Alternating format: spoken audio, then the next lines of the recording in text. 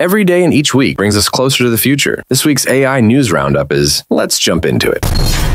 Amazon has made a new AI assistant called Amazon Q. It is a smart helper for making software and understanding business stuff. It can write, test, and fix code, and it also helps find important business information. It's for both developers and businesses. For businesses, it's like a search engine for all their important data. Prices start at $20 a month for each person using it.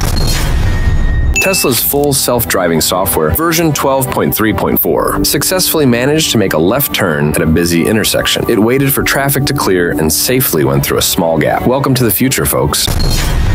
Scientists found lots of new asteroids using AI, which helps us understand space better. They looked at old pictures from telescopes and used a smart program called Thor to find asteroids. Most are between Mars and Jupiter, but some are close to Earth. This helps us keep an eye on them in case they come too close.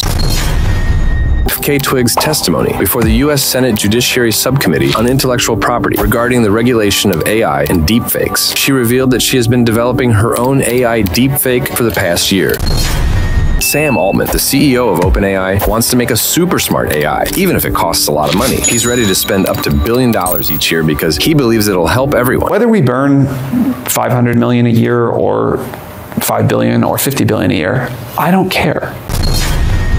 The Tesla Cybertruck's front trunk can hurt fingers because it doesn't stop if something's in the way. This is dangerous, especially for kids. But now, Tesla has added sensors to stop it from closing on fingers or objects. It'll make the Cybertruck a little safer for everyone.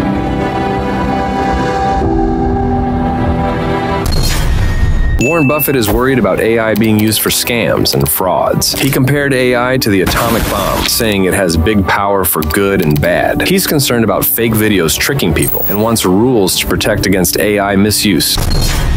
OpenAI made the world's first AI music video with Sora using only text. It's for a song called The Hardest Part by Washed Out. There are 55 clips in the video. Check this out.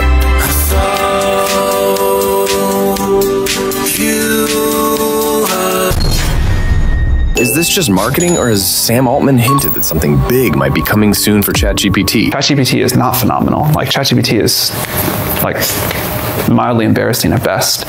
Um, GPT-4 is the dumbest model any of you will ever ever have to use again by a lot. Google made a super smart model for medicine called MedGemini. It's really good at understanding medical stuff and searching the web for answers. It's even better than GPT-4. Doctors and researchers can use it to help with diagnoses and learn more about medicine. It's available in lots of languages on the internet and soon on phones too. More and more groups are talking to politicians about AI. Big tech companies like Amazon, Meta, Google, and Microsoft are spending lots of money on this. They're trying to influence the rules about AI. Even though the official numbers might not show everything they're spending, it's probably much more than $10 million.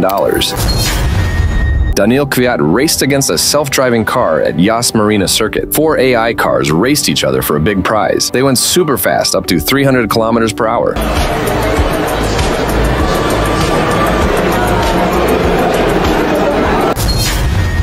Lumen is special glasses for people who can't see well. They have sensors that help you walk safely when you walk. The glasses use AI technology to keep you safe from obstacles like roads or puddles. They help you move around better without needing someone's help. They've been tested by lots of blind people. They are expected to be available on the market in 2024. Hey Lumen, take me to the door. You can now play Minecraft in virtual reality. You can build things in your own room while wearing special goggles. Google and Oxford made an AI to teach robots to play soccer. They used two important steps to train them safely. The robots learn to move around without getting hurt and play soccer against each other. Robots are cleaning up the ocean by catching plastic trash. They've already collected more than 100,000 kilograms. Cleaning up plastic helps keep the planet and its creatures healthy. AI is not going to take your jobs.